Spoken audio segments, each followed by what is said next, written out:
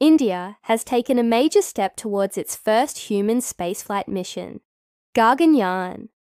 ISRO successfully conducted its first integrated airdrop test, validating the parachute system that will safely bring astronauts back to Earth.